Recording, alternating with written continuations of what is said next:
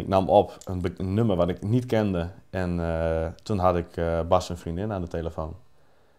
En dan word je net wakker en dan hoor je eh, een heel gek bericht van je broer is aangereden en hij heeft het niet gehaald.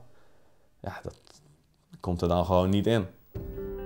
Bas en Paul, twee broers uit Meethuizen die van jongs af aan dezelfde passie delen: wielrennen.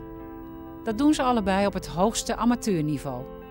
Een tempoversnelling van Vriend wordt Joey van Ree en Bas de Haan uit Meethuizen in het blauw-witte shirt te veel. Was er dan ook een eh, strijd tussen jullie altijd wie de beste was?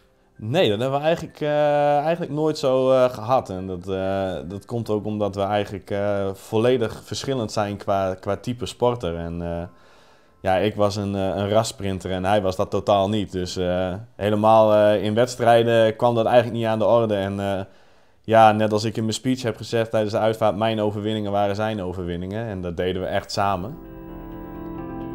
Begin september wonen Bas en zijn vriendin net een maand op Sint Maarten. Hij geeft een gymles op een middelbare school. Als hij aan het trainen is voor een wielerwedstrijd, wordt hij geschept door een automobilist. Zijn plotselinge overlijden schokt de Noord-Nederlandse wielerwereld. En ook op Sint Maarten wordt bij zijn dood stilgestaan. Baas de Haan. Baas de Haan. Wat was voor jou het moeilijkste moment? Ik denk dat het allermoeilijkste moment was dat hij ehm, met de kist hier aankwam in Nederland en dat hij hier in huis, eh, hier- dat hij hier in huis kwam. En dan op een gegeven moment dan, eh, dan zeggen de mensen van de uitvaarde onderneming van we gaan nu langzaamaan de deksel van de kist halen en dan kun je hem zien. En toen ben ik eigenlijk vrij snel weggelopen en dan heb ik gezegd van eh, ik wacht even totdat het er allemaal af is en ik hoorde al vrij snel mijn vader toch wel redelijk rustig erop reageren. Want wij hadden hem natuurlijk nog niet in het echt gezien. En toen dacht ik van oké, dan is in ieder geval zijn, zijn aangezicht nog goed herkenbaar. En dan is het dus wel echt mijn broer die daar ligt. En toen ben ik langzaamaan daarheen gegaan. Maar ja, die hele dag ben ik de hele dag zenuwachtig geweest. En eh, wist ik niet wat ik moest doen. Ja, totdat het moment dat je dan daar bij de kist staat en, en beseft dat het dus echt is.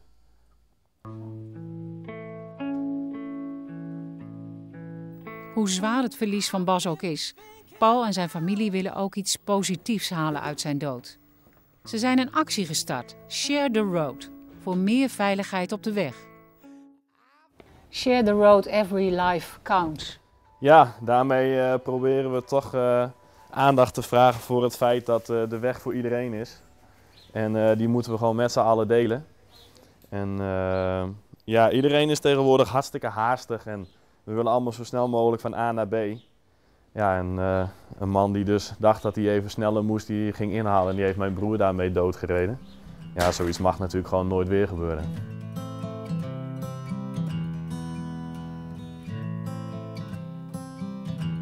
Hier stond de kist Ja, met zijn heeft lichaam. hier, eh, hier heeft hij een paar dagen in huis gestaan, eh, zodat we ons laatste afscheid konden doen. En eh, dan zie je je broer liggen zoals je hem nog nooit hebt gezien. En eh, iedereen kent hem als een lachenbek en altijd in voor een geintje. En nou ligt hij doodstil, letterlijk. En ja, dan, dan breekt je hart en dan breek je van binnen. En dan weet je geen houding meer te geven. Hoe is het nu met je? Ja, het gaat zoals het gaat, zeg ik elke keer. Soms denk je dat het goed gaat, soms gaat het helemaal niet goed. Maar eh, ja, zoals mijn broer zei, accepteren. Dus ik accepteer het maar en ik laat het maar gewoon om me afkomen. En dan, eh, dan zien we wel wat de toekomst brengt.